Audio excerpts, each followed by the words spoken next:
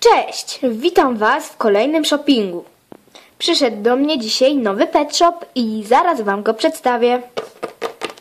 Przedstawiam Wam Betty. Ma ona dziurkę, wygląda tak. Jest to dog niemiecki, jest naprawdę śliczna, yy, w bardzo dobrym stanie. I to właśnie jest ten ostatni dog, którego mi brakowało do pełnej kolekcji dogów niemieckich. I nazywa się Betty. I ta pani była tak miła, że dodała mi do y, tego pieska gratis.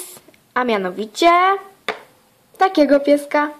Go mi dodała w gratisie. Nazywa się y, ten piesek Kolo. Ma on dziurkę. Wygląda tak. I jest bardzo fajny. A więc to są dwa moje nowe petki. I bardzo się z nich cieszę.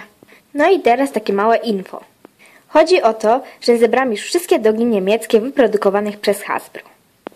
Ale pod filmikiem moje dogi niemieckie pisaliście, że brakuje mi jeszcze jednego doga. Yy, chyba warianta Spencer. Nie, warianta Adriano. Czyli tego doga. Ale ja uznałam, że mam już wszystkie dogi niemieckie wyprodukowane przez Hasbro. No bo popatrzcie. Oto lista wszystkich dogów niemieckich.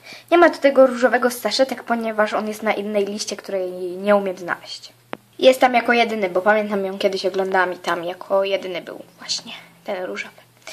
No więc y, to, to tę listę stworzyło Hasbro wszystkich dogów niemieckich.